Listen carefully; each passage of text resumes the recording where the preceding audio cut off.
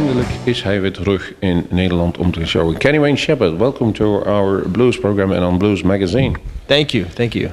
First questions, everybody's mind. What took you so long to come back to Europe, man? Well, uh, there's a lot of different reasons. Um, none of them are really quite good enough, to be honest with you. Uh, you know, we just things were really taking off for us back in the states, and we were doing really well over there. We had a lot of momentum going, and uh, and then also over the past several years, you know, I began a family, and I have three children now, and so it, you know, just trying to find the right balance between my personal life and my professional life, and you know, now I've kind of figured that out, and I'm prepared to come back over here as much as possible to build on the fan base and to play for the fans here. Well, tonight you're going to build again on your uh, fan base. Um, I mentioned, and my colleague is a big fan, but I saw you live in opening up for the Eagles in 1996. Uh, that would be quite an experience for then a young Kenny Wayne Shepherd who played all the big stadiums. Of course, in Holland it was the Kuip, 50,000 people, and you had the not so grateful task for opening up for a great band. How was that for you? It was a lot of fun. It was uh, probably the best way that we could have ever come over to Europe for the first time. Played for so many people uh, with the Eagles. They they were playing stadiums all over Europe, and um, each night it was 50,000 people, 60,000, 70,000. So it was a really great introduction to Europe, and there's still a lot of people that remember us from that tour. So, uh,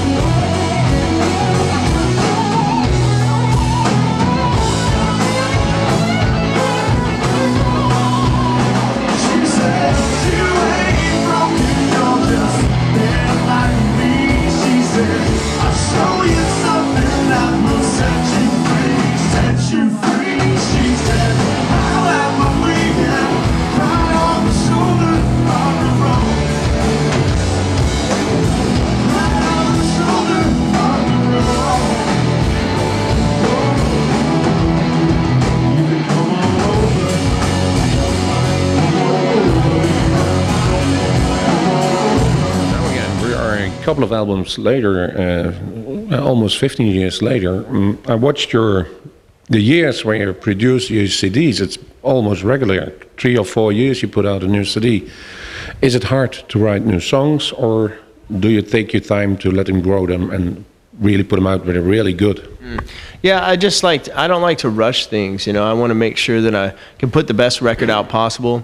Although I have to tell you, uh, we plan on putting out another album pretty soon, within the next 12 to 15 months. So I don't want to let that much time pass again before the next one. Uh, but in, oh, you know, in the past, what we would do is we would put out an album and we would tour for about a year and a half at least, and then we would begin writing and recording, and that all takes time. So that's part of the reason for so many years going by between records. But now the goal is to try and put out a new album every year and a half or so. Well, that's good news for the fans. Um, the writing stuff. Um, you have a singer. You, you don't sing your own anymore. You did in the beginning of your career. You did sing. Who writes the songs? Who comes up with the first ideas of uh, for a new song? Is it no one for the lyrics or you for the for the music, or both? Uh, well, it can be both. Most of the time, it starts with a guitar. And, uh, you know, I write, I participate in the lyrics and uh, the music and everything. So, uh, and I do still sing. Like on the new album, I'm singing lead vocals on two songs, and I'm singing a lot of co uh, lead vocals and background vocals.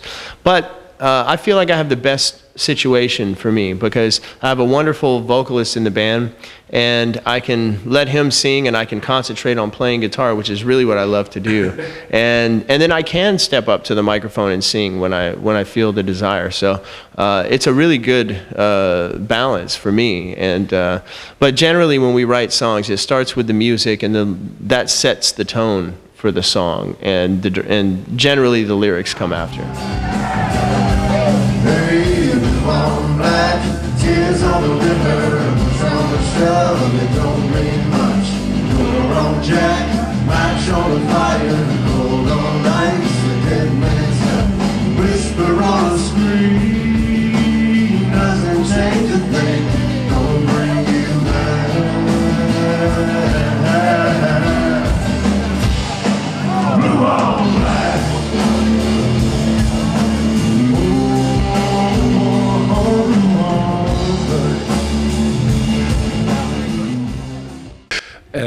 Produced a couple of years ago the DVD, 10 Days Out.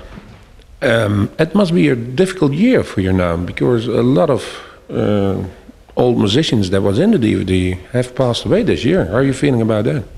Well, it's a sad reminder uh, that the generation of bluesmen are getting older and they're not going to be around forever. So we must appreciate them while they're still here because if it wasn't for those people, there, there wouldn't be an opportunity for somebody like myself or the other guys of my generation, like we were talking about Ryan McGarvey or Joe Bonamassa or Jonny Lang or myself included. Those guys helped pave the way for people like us to come along. Was that originally the idea for making that documentary? Yes, the main reason was to uh, give tribute to the blues and to the musicians that inspired me and, and to the blues community who has supported me all these years. You know, the, the blues fans are the ones that have carried me all, all of these years. And I just wanted to give them something very special and show my appreciation for the music and, and the musicians. Well, you certainly did. Thing you learned about those 10 days? Well, the best thing that happened is that it, it was a return to my roots for me. It got me right back into the traditional blues that, that inspired me uh, as a young musician. And, um, you know, I learned that the, that the blues is alive and well. And uh, I got to fulfill a lot of my childhood dreams by playing with some of those people.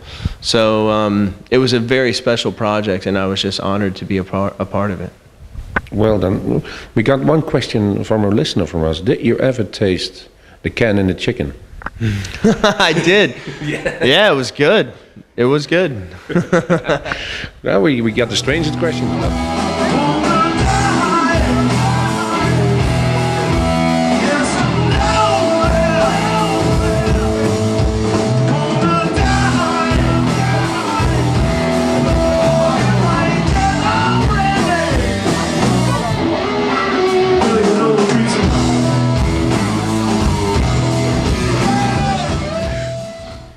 Um, if you can s- can sum up blues for you in one sentence and make the sentence that much appealing that the youngsters get up and pick up the guitar and get the blues, what would that sentence be?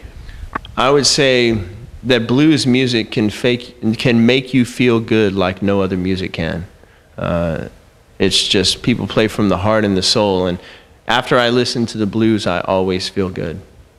That's strange because blues is origi- originated in feeling a little bit blue and down, Yes. and then Well, it was. It, it, it came from suffering, but the idea was to bring to lift people up through music, and so that to help them forget about the bad things. And I think that that's still the point.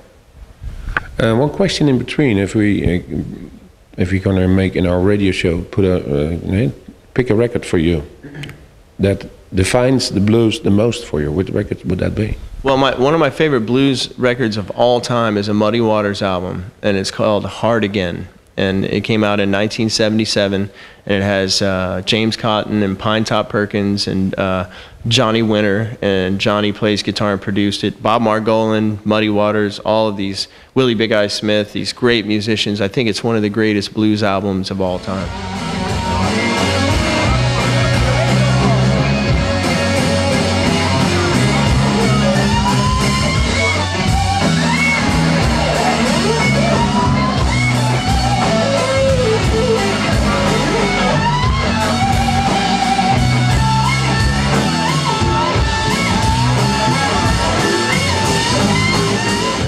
A song from that for you.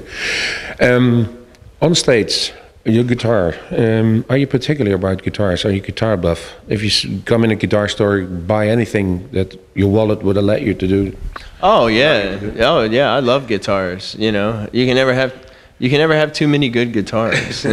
but I, I, you know, I don't have this massive guitar collection. I do have a collection of guitars, but um, you know, there's probably many people that have more than I do. But I love a great guitar, and uh, I know what I like in an instrument. You know, and I've picked up plenty of guitars that didn't feel right to me, but the ones that do, I try to get a hold of them. you know. Can you explain what it is that it should be right, or is it the tone? Is it the feel? It's both, uh, obviously.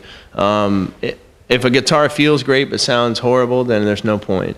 And if a guitar sounds great but feels horrible, there's no point. So it's both the feeling and the tone of the guitar that really make it uh, the right instrument.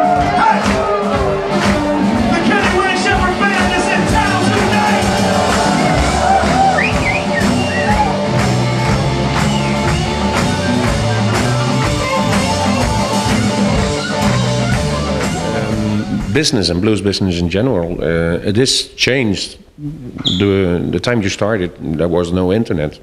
Internet is uh, playing a big deal in putting your records out, but also in getting records sold. What's your opinion about uh, internet and your CDs? Well, it's definitely changed the way uh, the music business operates. Um, but it's an interesting opportunity to get your music out to a lot of people that might not be exposed to it otherwise. You know, things like YouTube and Facebook and all of these ways to, you know, directly uh, market your music and to reach out to your fans. You know, so to me, I just uh, it's I think it's a good thing because uh, I want as many people to hear my music as possible because uh, if they have the uh, the more opportunities they have to hear it, the more opportunities there are for people to become fans. Um, you were um, kind of lucky because uh, Bryan Lee um, picked you up uh, down in, over in Shreveport or New Orleans. We, we talked to him. Is a splendid guy. What he meant for you? Um, he, you know, he gave me my first opportunity on stage, and uh, you know, he became uh, somewhat of a mentor to me over the years. And you know, I played with him a lot, and he's a very special musician, very uh, talented musician, and uh, you know, he's the guy that let me get on stage for the first time, and that's when I realized I might actually be able to do this.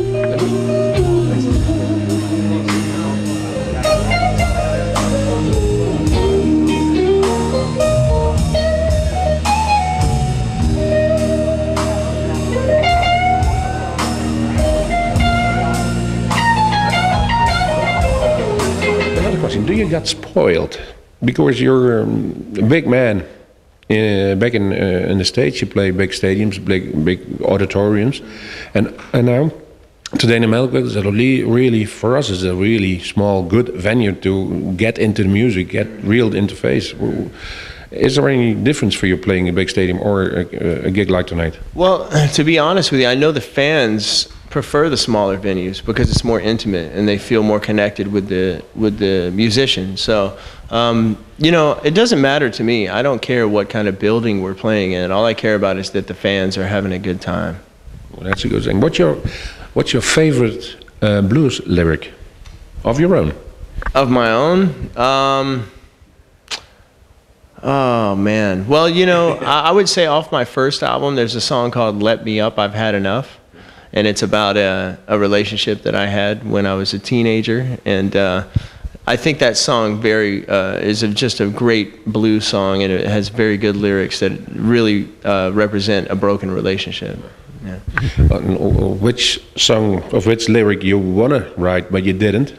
You love the most? Uh, you know, I like uh, "Mannish Boy." You know, I mean, a lot of people. Good old man, he's boy. Yeah, a lot of people like Bo Diddley and Muddy Waters did the best version, I think, and uh, it's just such a manly song, and it, it, the lyrics are are pretty wonderful. What are your wishes for the, in the future and then um, musically wise? What what do you want to achieve? Well, I just want to continue to make good records. I want to play music that that my fans appreciate. I want to continue to build on my fan base. Uh, one of my priorities right now is to come over to Europe as much as possible and, and build a big fan base over here. Um, so that's really my goal is over the next few years to to really you know connect with the fans over here and uh, to establish a relationship with them. Well, the best way is playing, playing, playing. Kenny, thank you very much for this interview, and we're gonna see you again. Absolutely, I promise you that. Thank you.